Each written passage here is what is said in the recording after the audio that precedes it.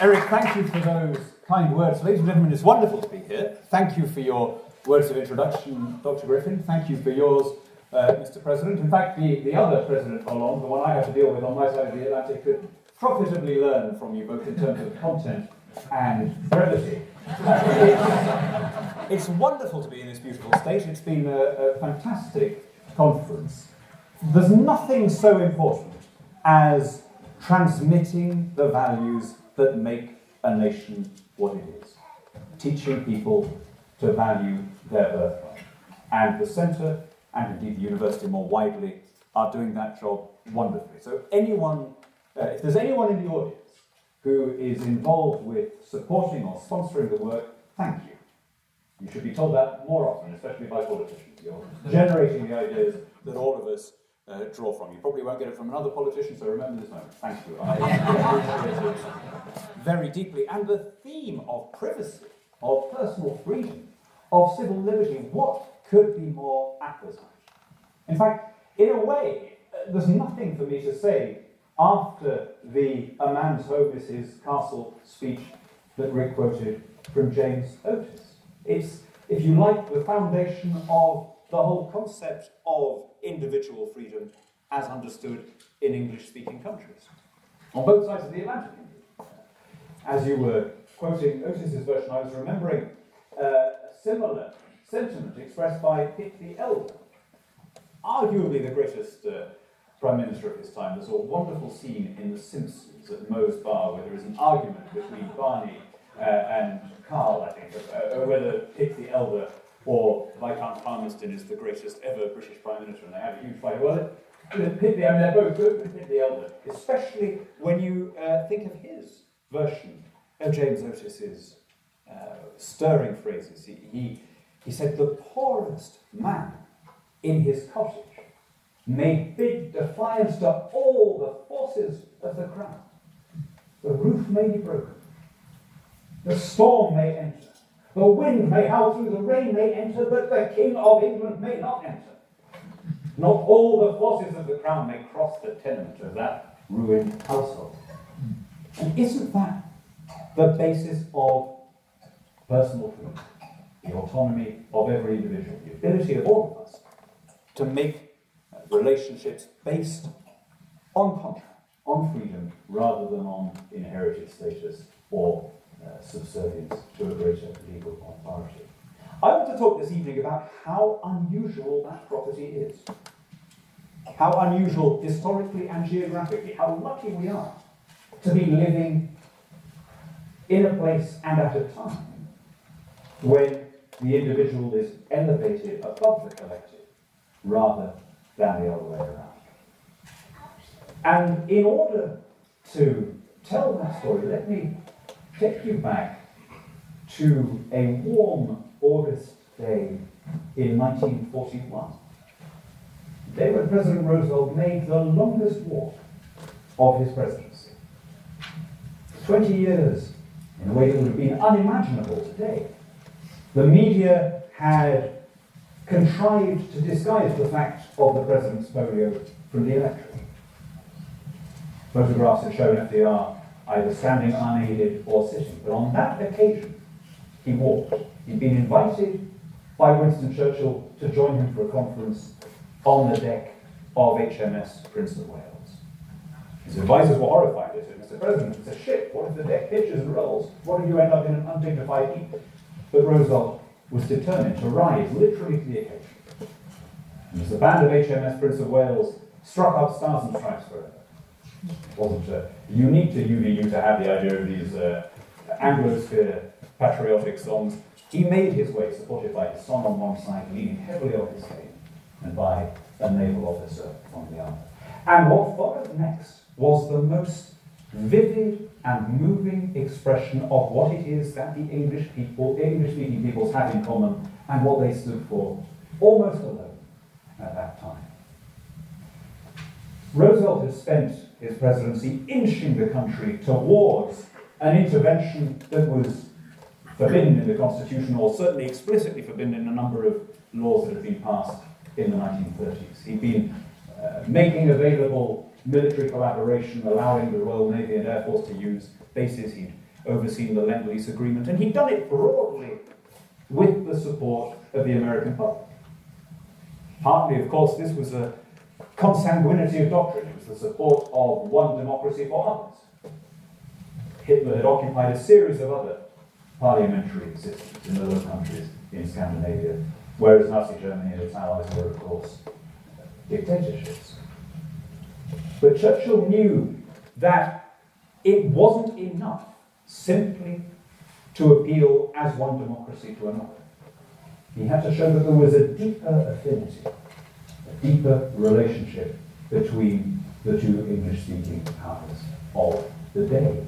And what followed that Sunday morning was designed to elevate and ennoble those ideals.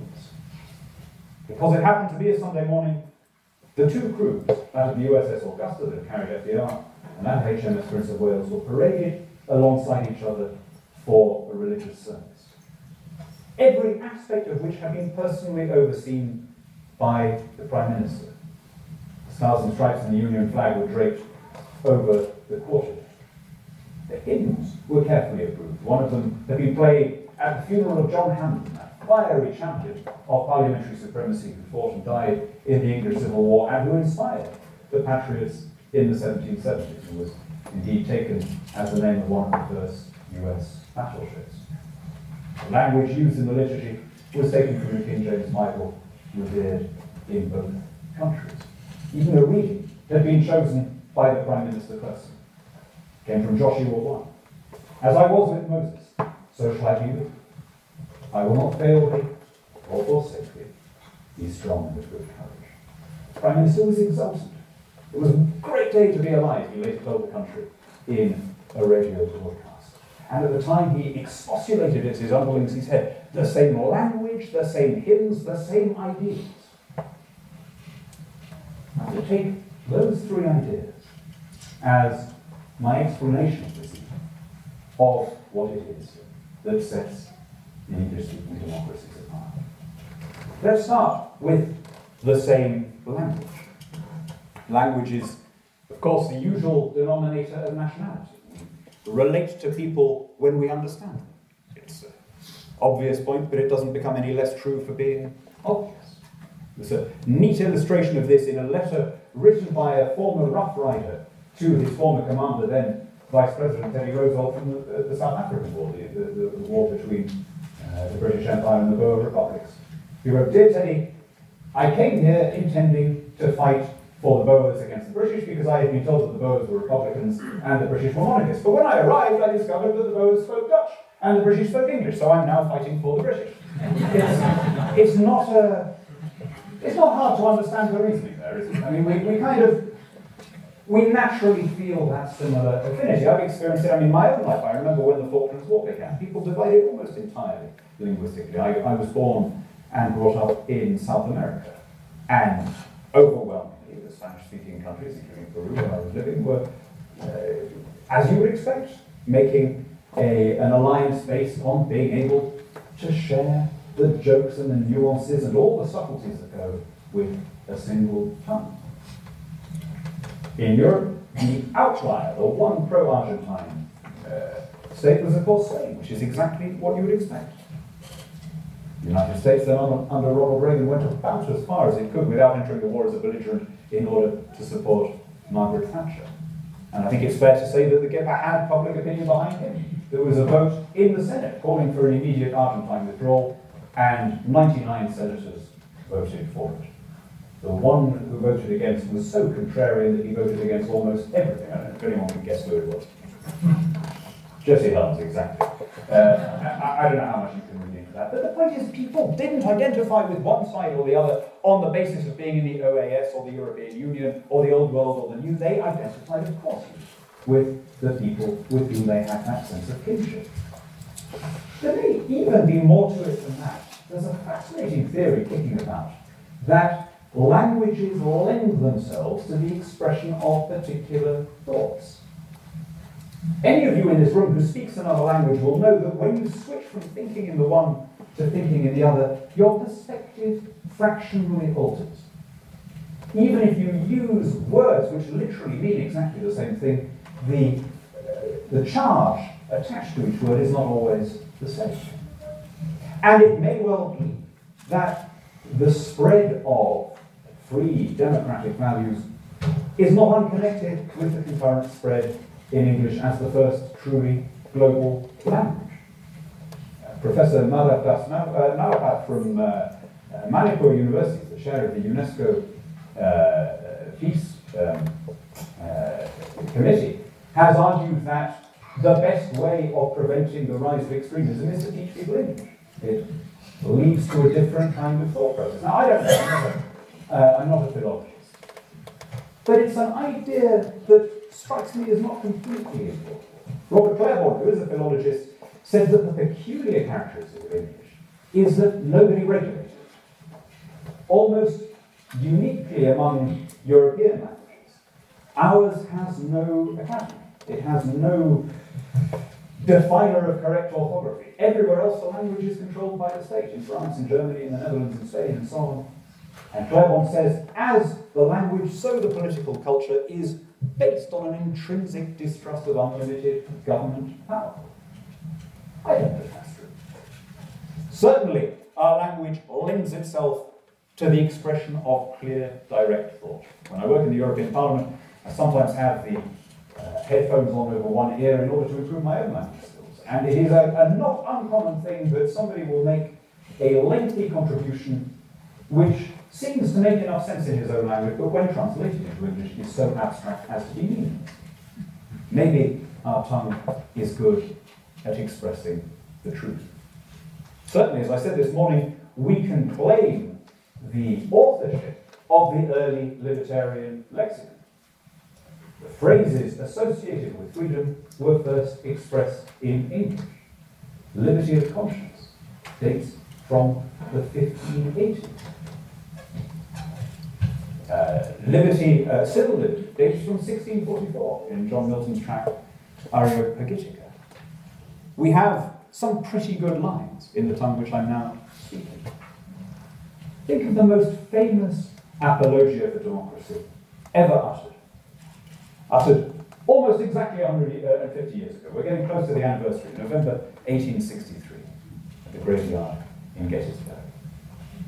Abraham Lincoln lightheaded from an oncoming case of smallpox, spoke for just over two minutes, and he finished with some of the most famous words ever uttered in English. He ended with the hope that this nation, under God, would have a new birth of freedom, and the government of the people, by the people, for the people, should not perish from the earth. Now, here's the really extraordinary thing. Those words were not Lincoln's. His audience 150 years ago would have been primed to recognize the quotation as our generation typically does not. That phrase, government of the people, by the people, for the people, comes from what was probably the first translation of the Bible into the English language. And incredibly, they were written in 1384. In what other language could that thought have been expressed in the 14th century? The same language. Actually, talking of the first translation of the scriptures leads neatly on to Churchill's second criteria, criterion, the same hymns. The author of that first uh, translation the author, of the original author of the phrase government of, by, and for the people was John Wycliffe, sometimes called the Morning Star of the Reformation. And for him, that phrase, government of, by, and for the people, was one that had a political and an intellectual as well as a religious import.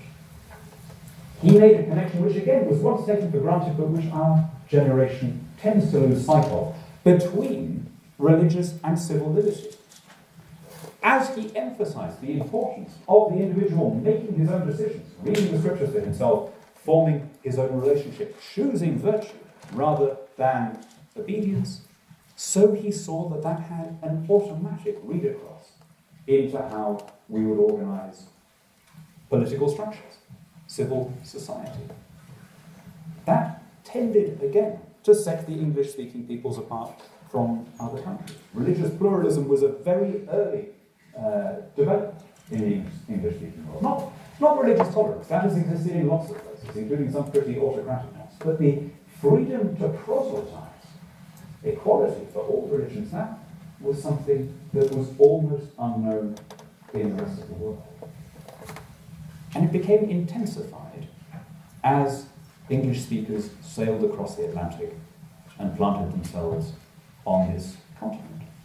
The first great migratory wave from the British Isles to this part of the world was, of course, driven by a quest for, above all, religious freedom. And this state was settled by an even deeper intensification of the same phenomenon. You might say that here you get the purest form, the strongest distillation of Anglo-exceptionalism, the people who came the furthest first to the US and then uh, across the plains to Utah in pursuit of freedom, the ability to live your life without being told what to do by the authorities. And that's really what Churchill meant by the same ideas. It takes a real mental wrench now to see the world from the perspective of August 1941. When Roosevelt and Churchill sat next to each other and spoke about having the same ideals, they were not making some bland generalization about being the good guys. Consider the world as it looks then. Things that we consider to be normal and comfortable and modern, free elections and jury trials, and an uncensored press, and equality for women, and uh, regular polls, all of those things were pretty much confined to the Anglosphere. The whole of the Eurasian landmass, from Brest and Lisbon to Vladivostok, was under one form or another of authoritarian regime. It's so easy to take things for granted, to think that there was something inevitable about the rise of freedom. Nobody saw it in those terms at the time.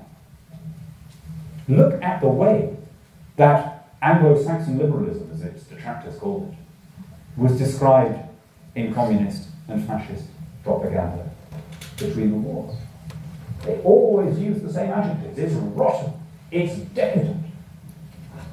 Then the coming idea was thought to be state action. Collective organization was thought to be more efficient and more moral. There was something uh, supposedly diseased or, or selfish about a society where everybody did his own thing without needing to ask permission. Nobody would assume that there was something predestined about the rise of what we now take for granted as a free society. The biggest mistake our generation makes is to assume that when a country becomes rich enough and educated enough and advanced enough, somehow all of these things will follow. That is not the case. The spread of liberal democracy to a single approximation came about as a result of a series of military victories by the English. There were three great global conflicts in the last hundred years the two world wars and the Cold War. The list of countries that was on the right side in all of them is a short one. But it does include all the large English speaking democracies. And that is our greatest boast. That was our supreme contribution to the happiness of the species. We made a world where the individual and the privacy that we were speaking about, at the freedom of conscience, became normalized. But don't think that once you've won that victory, that's it. That we can relax, that there's now something inevitable, we're on a glide path. That's not how it works to see how exceptional these values are even today. Don't compare the United States with China or Russia. Just look at the other countries of what we call the West and see how different there is the conception of the relationship between citizen and state. We were talking uh, today, your president mentioned again now the, the founders and the process that the US went through in formulating its constitution. You can do worse than to contrast that story with the European Union's equivalent effort a few years ago when I was uh, a newish member of the European Parliament. Your constitution is including all of its amendments, 7,200 words long. The EU's equivalent, originally called the European Constitution, it's now called the Lisbon Treaty, is 78,000 words long. Your Constitution addresses itself to broad principles. What should be the relationship between state and federal authorities? The EU Constitution busies itself with the most tiny details. The status of asylum seekers, the role of the European Union in space exploration. these, are all, uh, these are all things now set down with constitutional force. The presumption of one generation assuming that these things can be enshrined forever. There was a big row at the time about uh, should there be a reference to Europe's Christian heritage. I mean, there's no wonder there was no room for the Almighty with the arrogance of the people uh, assuming that they could lay down these things in all time. I mentioned earlier the difference between the phraseology of Jefferson's Declaration of Independence and the EU's equivalent. One promises life, liberty, the pursuit of happiness. The other promises strike action, free healthcare, and affordable housing. You see the difference. One is about the freedom of the individual, the other is about the power of the state. And you see also the difference in the mechanisms by which they were adopted. Your constitution came into effect following separate ratification in specially convened assemblies in the 13 member states. Well, 11 of them, I think, uh, initially. Uh, if I'm right uh, uh, in remembering this, I think Rhode Island and North Carolina held out for it and then fell into line a little bit later on. Contrast that with what happened in Europe, where the European Constitution was repeatedly rejected in referendums. By 54% of French voters, by 62% of Dutch voters, by 53% of Irish voters, whose objections were then swatted aside and the text was imposed anyway.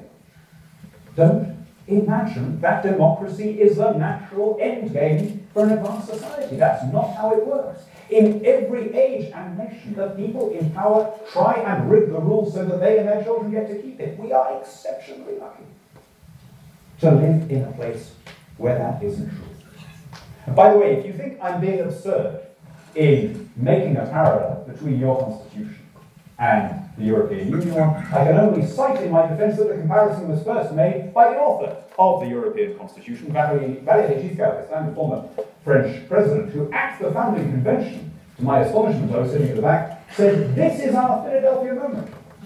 And they went on to compare themselves to Jefferson. Where does one begin unpicking that parallel?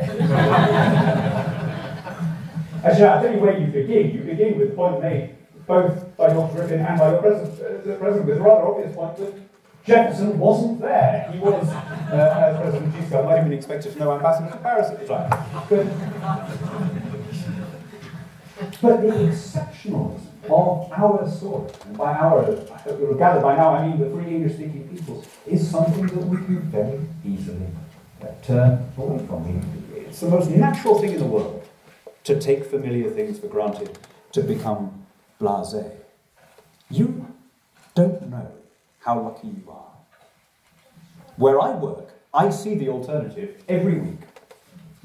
I see countries that have a very different attitude to the rule of law, to free contract, to property rights, to democracy. I see how what outliers we are in a European system where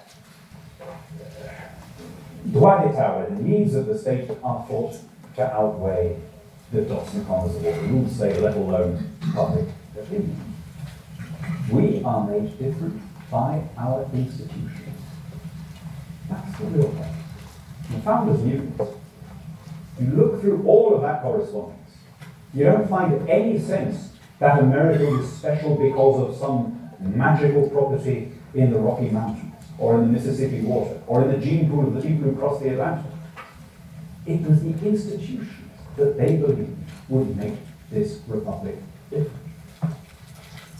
Jefferson did once eccentrically write to a friend in France, your skies are always cloudy, ours are always blue,